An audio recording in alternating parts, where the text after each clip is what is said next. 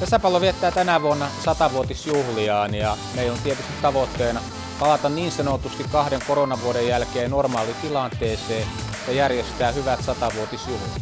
Juhlavuoden keskeisiä tapahtumia on tietysti lasten ja nuorten alueelliset leirit ja valtakunnalliset leirit. Ja myös sitten Itä-Länsi-tapahtuma, naisten Itä-Länsi-tapahtuma, 60. kerta kun naiset kohtaavat ja 90 vuotta sitten ensimmäistä kertaa miehet pelasivat oman Itä-Länsensä. Juhlavuoden teemana meillä on erityisesti kohtaamiset ja lapset ja nuortet on nostettu meille etusijalle sekä ympäristöasia. Pesäpallon juhlavuoteen kuuluu myös postimerkkilanseeraus sekä kutsumme uusia jäseniä pesäpallon kunniakaudelle.